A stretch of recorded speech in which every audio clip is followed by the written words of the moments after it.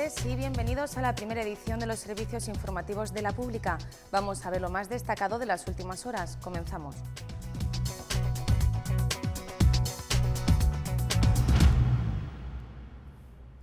El Gobierno quiere saber si se destinaron agentes de la local a la central de comunicaciones sin estar preparados para ello, tal y como denunció UGT. En ese sentido, el Ejecutivo indagará sobre si ha habido alguna negligencia a la hora de tomar esta decisión.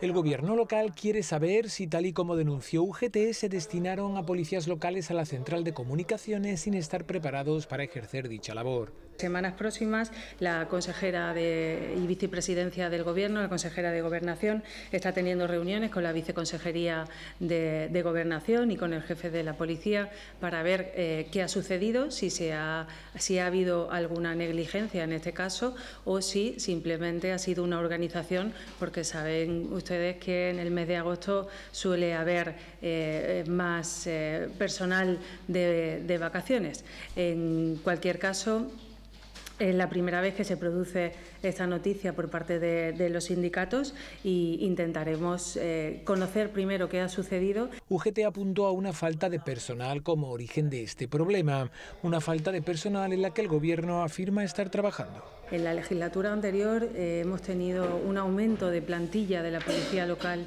de 23 eh, nuevos efectivos por una parte, y también en la legislatura anterior se dio eh, el visto bueno a aumentar las horas extraordinarias que realizaba la policía local de cara a incrementar los efectivos que hubiera tanto en la calle como para cubrir los servicios que fueran necesarios. Esto en la legislatura anterior, pero es que además a esto hay que sumar que hay nueve plazas más que están ahora mismo eh, ejerciéndose o efectuándose todo el proceso de selección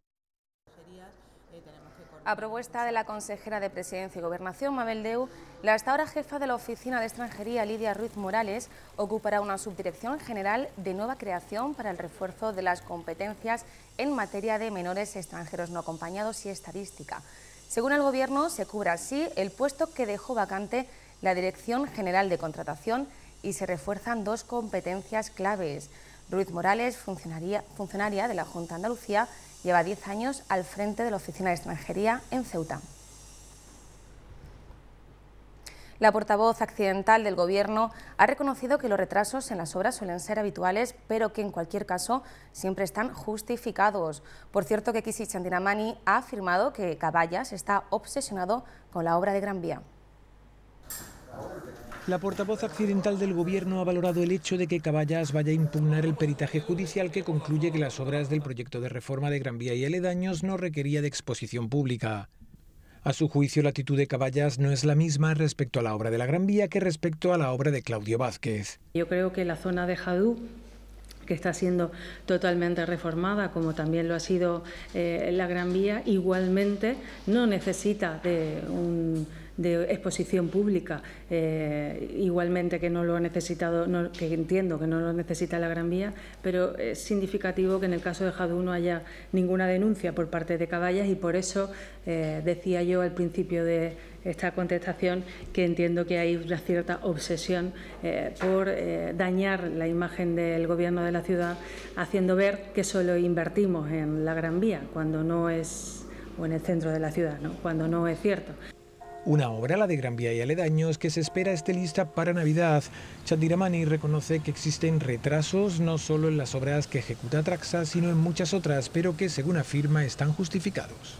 En, todos los casos están justificados los retrasos, porque en todos los expedientes de contratación y ejecución de obra hay una dirección facultativa que, bueno, pues debido a los problemas que se van encontrando a la hora de ejecutar la obra, estiman que se justifican esos eh, retrasos que se van produciendo.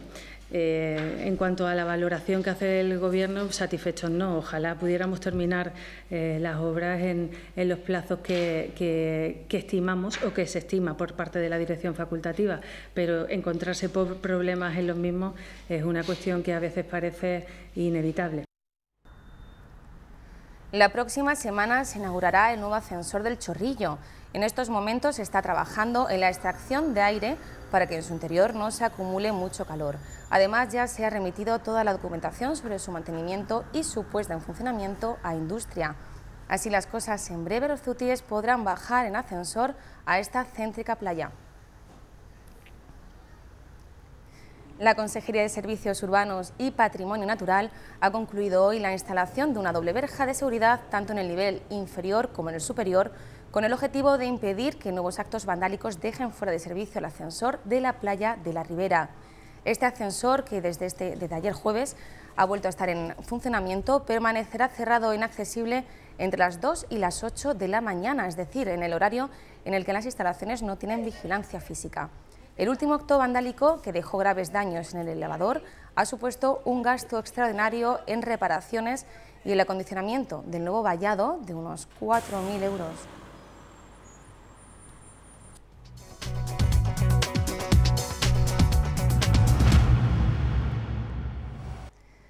La Organización Mundial de la Salud ha confirmado que nuestro país está libre de transmisiones endémicas de sarampión y rubeola. Los 233 casos de sarampión confirmados entre el 1 de enero y el 21 de julio son casos importados. En relación con la rubeola no se ha detectado ningún caso. La ministra de Sanidad, Consumo y Bienestar Social ha destacado que se trata de un éxito de todo el Sistema Nacional de Salud y ha agradecido igualmente la colaboración de las distintas autonomías. Se trata, por tanto, de un éxito del conjunto del Sistema Nacional de Salud y por eso quiero agradecer la labor y la coordinación y la alta implicación de los profesionales sanitarios, en primer lugar, y también al trabajo realizado por las comunidades autónomas. Entre todos, hemos conseguido mantener este importante logro gracias a la existencia de un plan de eliminación del sarampión y la rubeola coordinados con la Organización Mundial de la Salud y también resaltar la fortaleza del sistema de vigilancia en la detección temprana de casos y también en la rápida respuesta, pero sobre todo a las altas coberturas de vacunación alcanzadas en nuestro país.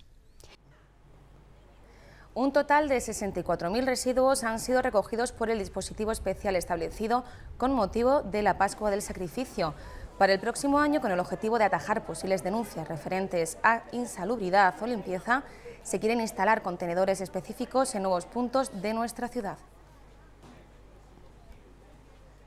El Boletín Oficial de la Ciudad ha publicado las valoraciones provisionales a los solicitantes de tres programas del Fondo Social Europeo. Nos referimos a la concesión de ayudas públicas al autoempleo, a la contratación indefinida y a la transformación de contratos temporales en indefinidos.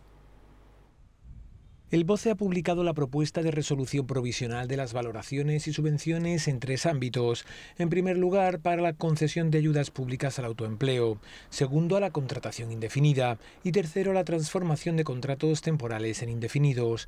Los tres ámbitos están amparados por el programa operativo del Fondo Social Europeo para Ceuta en el programa 2014-2020. Para la concesión de ayudas públicas al autoempleo se han presentado un total de 22 solicitudes.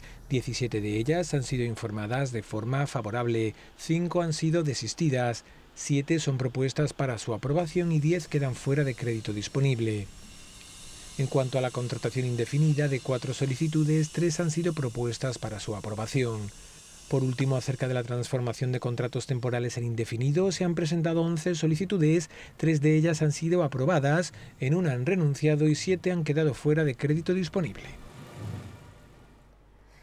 Caballas ha remitido una carta a la presidencia del Consejo de Administración de Radio Televisión Ceuta en la que se le recuerda que la designación de Isaac Medina como director gerente de esta sociedad quedó supeditada a que acreditara documentalmente los, méritos que figuraban en su currículum. Según este partido, no se ha acreditado la titulación universitaria, motivo por el cual la firma del contrato es, a su juicio, un acto nulo de pleno derecho, pues contraviene el, acuerdo del Consejo de Administración. Es por ello por lo que Caballa solicita a Mabel Deu que se anule inmediatamente el contrato firmado y se convoque con carácter de urgencia el Consejo de Administración para decidir sobre esta cuestión.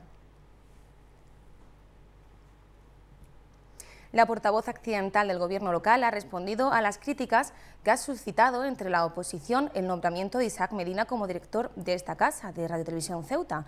Según Kisit Chandiramani, se han celebrado más consejos de administración que nunca, por lo que la transparencia ha sido máxima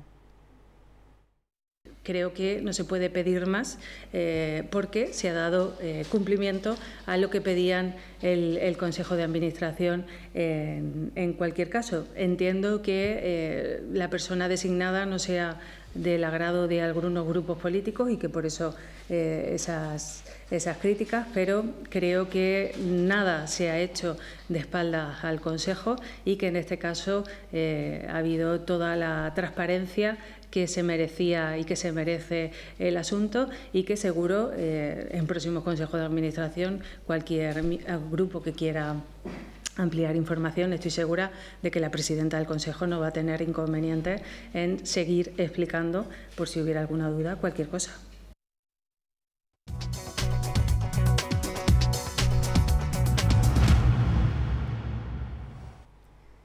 Como cada viernes, usuarios de Pro Ceuta han podido disfrutar de una mañana en el Parque Marítimo del Mediterráneo, enmarcado dentro de las actividades de verano de la asociación.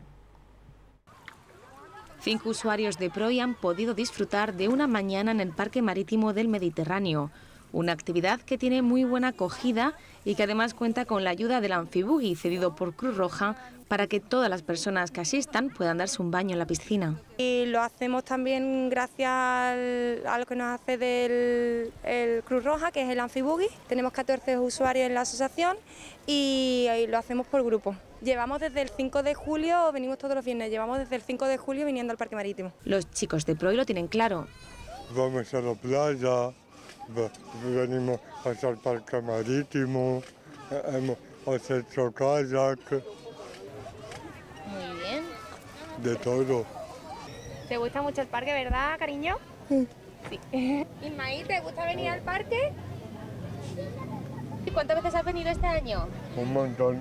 Unas actividades desarrolladas dentro del programa de verano de la Asociación Pro y Ceuta. El verano es tentador para disfrutar de amigos y largas charlas en terrazas acompañadas por tapeo, así como comilonas y algún que otro helado que nos refresque. Pero tenga cuidado porque esta estación del año es tentadora para coger algún kilito que otro no deseado. Hemos hablado con un especialista que nos cuenta cómo evitar ganar ese peso de más. Según una encuesta realizada por una empresa nutricionista a 1.500 personas mayores de 18 años de toda España, el 61% de los españoles engorda en temporada de verano. El 61% de los encuestados aseguraron que habían ganado peso, un 24% se había mantenido y solo un 15% aseguró que había conseguido adelgazar. ¿A qué se debe este aumento de peso en verano? la gente engorda en verano si el planteamiento que has hecho durante todo el año es malo. Cuando yo soy consciente de que me puedo comer una tortilla francesa pequeñita de tipo CD, pero no me puedo comer una tortilla francesa de kilo y medio, porque seguramente hasta un punto la tortilla me sentará bien. A partir de ese punto ya es eh, puramente eh, gula. Por ello, el nutricionista Nacho Espinosa nos ofrece unas pautas para no ganar esos molestos kilitos de más. Tengo que saber qué es lo que como cuándo lo como y cómo lo como. ¿Cuál es, la, cuál es el apoyo? El ejercicio. Por lo tanto, a ver, yo no voy a decir que está todo inventado, pero sí que es verdad que mm, la regla es muy fácil. Si yo como 10 y gasto 2, me sobran 8. Por lo tanto, tengo que comer 10 y gastar 8 para que me sobren 2. Y si estoy en negativo, mejor todavía. Eso, al final, al final es eso. Se puede hacer de todo, se puede comer de todo. La gente no se tiene por qué amargar. Eh, las dietas, la dieta, yo siempre digo que si yo hago una dieta y paso hambre, esta dieta para mí no es. Es una dieta mala. Porque yo tengo que comer de todo y tener la sensación de que estoy lleno. Y luego, de alguna manera, educarme para saber cuándo tengo que parar. Por lo que en verano y sus reuniones con amigos y familiares, comidas en chiringuitos, cenas improvisadas, cervecitas, refrescos y helados, no es una excusa para dejarse llevar con la comida. Y si tiene perro, atento a estos consejos que los veterinarios recomiendan seguir a rajatabla para que nuestra mascota no sufra un golpe de calor debido a las altas temperaturas que se están registrando. Cuidado con no dejarlos encerrados en los coches, ya que pueden ser auténticas trampas mortales. En lo que llevamos de verano ya hemos sufrido varias olas de calor. Por esta razón, los veterinarios recomiendan una serie de precauciones para nuestras mascotas. Ponerlos en lugares de sombra, sacarla a pasear y no hacer mucho ejercicio, siempre mantenerlos fresquitos, no encerrarlos en los coches como lo dejan encerrados. Las altas temperaturas no son solo peligrosas para nosotros, nuestros amigos de cuatro patas también pueden sufrir.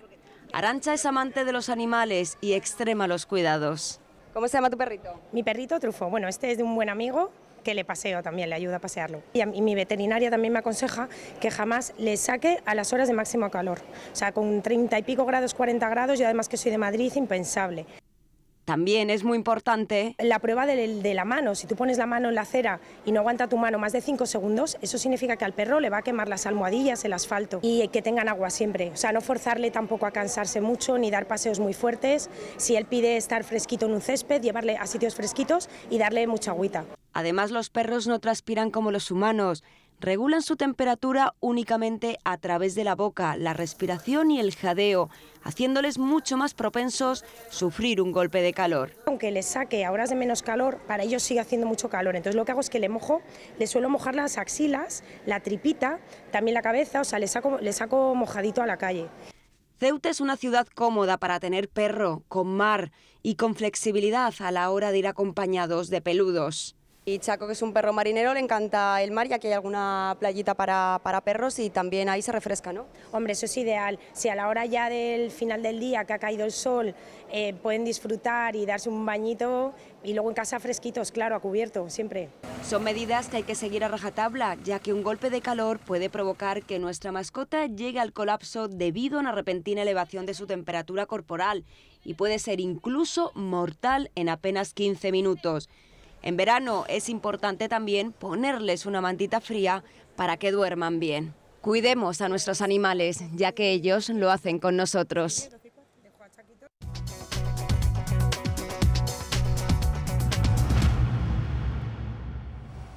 Andrés Salas causa baja en la plantilla y jugará cedido en el Monscalpe de Gibraltar, según anunciado este viernes el Club Blanco. Por tanto, el defensa central cordobés es el jugador mayor de 23 años sacrificado por José Juan Romero antes de empezar la liga la semana que viene. La agrupación deportiva Ceuta ha informado este viernes de que Andrés Salas causa baja en su plantilla y jugará cedido en las filas del Monscalpe, equipo de la National League la nueva denominación de la ahora única categoría del fútbol de Gibraltar. El veterano central cordobés que regresó al Ceuta este verano ha sido finalmente descartado por José Juan Romero. Según el club blanco, Salas se ha entrenado con una profesionalidad ejemplar y ha luchado al máximo para quedarse. Pero tras un mes de pretemporada, el técnico jerenense ha decidido que el defensor sea el sacrificado al tener cubierto el cupo de jugadores mayores de 23 años. El Ceuta le ha deseado a Salas la mejor de las suertes, mostrándose seguro de que le irá muy bien en su nuevo equipo y recordándole que el Ceuta es su casa para todo cuanto necesite. Salas, de 34 años, es un trotamundos del fútbol, que recaló en el conjunto Caballa tras jugar en las filas del Jerez Club Deportivo la pasada temporada y que antes ya vivió una etapa en el equipo blanco en el curso 2013-2014, aunque se marchó a mitad del campeonato por discrepancias con los anteriores dirigentes del club. Y ya hay día y hora para el estreno liguero del Ceuta. Será el próximo sábado 24 de agosto cuando los blancos debuten en el Estadio Alfonso Murube con el Puente Genil como primer rival. La agrupación deportiva Ceuta comenzará la liga el próximo sábado 24 de agosto ante el Puente Genil, a partir de las 8 y cuarto de la tarde en el Estadio Alfonso Murube, según ha anunciado este viernes el Club Blanco. Los de José Juan Romero lucharán ante su público por sumar los tres primeros puntos del campeonato en el grupo décimo de tercera división. Enfrente tendrán a un equipo que está dejando buenas sensaciones a lo largo de la pretemporada. Los cordobeses que cuentan con Diego Caro como nuevo entrenador se han reforzado con jugadores contrastados, como es el caso del ex del Ceuta, Miguel García. El Ceuta tendrá pues para empezar una buena piedra de toque ante el cuadro cordobés, en un partido en el que tratará de confirmar su buen trabajo durante la pretemporada. Antes de ese debut liguero, el Ceuta va a disputar su último encuentro de la pretemporada este domingo a las 8 de la tarde en Algeciras, donde se enfrentará a los locales en el Trofeo Virgen de La Palma. Antes, el miércoles, los, blancos empataron sin goles en los barrios. Su entrenador, Juan José Romero, terminó muy satisfecho con el ensayo. Seguimos insistiendo en que jueguen todos ¿no? Eh, y, muy satisfechos. Creo que es uno de los partidos más completos que hemos hecho, porque venir aquí a un campo con esta dificultad y genera la cantidad de ocasiones. No me preocupa nada el empate porque un partido normal no, no creo que tengamos esta capacidad de errar, ¿no? Pero es muy difícil jugar como está la superficie. El equipo ha demostrado unas hechuras y una, una capacidad de, sobreponerse a todo. Me voy, la verdad, me voy muy satisfecho. Además, el hecho de que jueguen dos equipos no es fácil equilibrar los dos. En el último amistoso de la pretemporada ante el Algeciras, Romero no enseñará aún el posible 11 para el debut liguero frente al Puente Genil. No vamos a probar seguramente todavía, porque primero porque no lo tengo, no tengo el 11 claro, ¿no? Estamos viendo que un día uno juega mejor, otro día es otro. Hay, hay ahora mismo una, una gran competencia y ojalá eso sea así toda la liga. En Algeciras vamos a intentar seguir viendo un buen Ceuta y, y pero no creo que sea vayamos a probar un 11 ya pensando en el Puente Genil.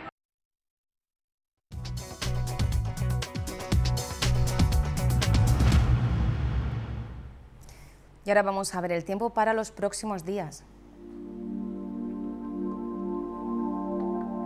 Mañana sábado el cielo estará despejado, la máxima 28 grados y la mínima de 22. Continuaremos con el viento de levante y bancos de niebla por la tarde. Y el domingo continuaremos con el cielo despejado, la máxima será de 30 grados y la mínima de 21. El viento cambiará a noroeste.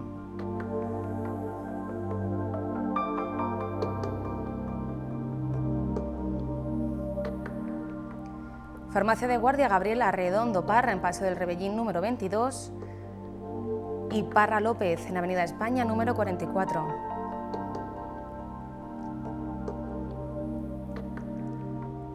El número premiado del sorteo de la Cruz Roja ha sido el 740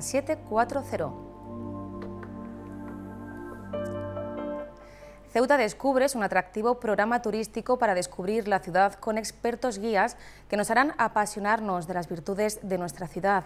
Ahora les mostramos los baños árabes, una joya de la ciudad, tal vez para algunos desconocidos, ya que el acceso para visitarlos es solo con guía. Su precio es simbólico, dos euros, vean.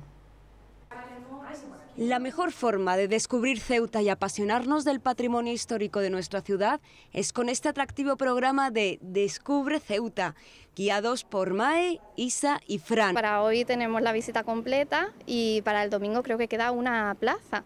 Pero bueno, el fin de semana que viene, el viernes que viene, el domingo que viene, eh, todavía de momento hay plazas, pero que no se duerman en los laureles que que corren y vuelan. Les mostramos los baños árabes que no están abiertos al público si no es mediante estas visitas. Lo único que queda en Ceuta, de cerca de 20 que se estima, eh, es posible que hubiera en la época medieval. Lo tenemos en pie milagrosamente después de todos los avatares que, que contamos ya en la visita. Todo este ladrillo que vemos ahí es original, las alanías sí que se han reconstruido, el mármol también se, se puso nuevo ¿vale? y el suelo, porque originariamente es muy probable que el mármol recubriera hasta la mitad de la estancia. Originales son las luceras, por supuesto. Vemos el vestíbulo y después pasamos a la siguiente sala. Sala templada, venimos de la sala fría, que sería la, la primera estancia que nos encontramos en el baño. Por último, la sala caliente. Y estos pilares de un metro sesenta eh, constituyen el sistema de, de, calefacción, digamos, de esta sala. Eh, se ha dejado con este cristal y con este suelo de madera, aunque originariamente obviamente no era así, eh, para que podamos ver cómo se distribuía el aire caliente en esta habitación, cómo se mantenía ese vapor de agua que también salía a través de tuberías cerámicas y del propio agua que, que los usuarios se, se echaban por encima aquí en la sala caliente. Si hacemos historia... Pues el baño aparece en los años 70 bajo unas viviendas que había justo encima, o sea, el, baño estaba enterrado. Carlos Posac, al derribar esa, vamos, derribaron esas viviendas, pues descubre que son bóvedas de un baño medieval. Y no voy a contar más, más, de la historia para que los visitantes vengan y los ceutíes puedan disfrutar de este maravilloso baño. Una oportunidad única para poder conocer a fondo esta joya de nuestra ciudad que tan bien se conserva y sin duda forma parte del patrimonio caballa. Ya nos vamos, volvemos a las ocho y media con más información. Gracias por estar ahí hasta entonces.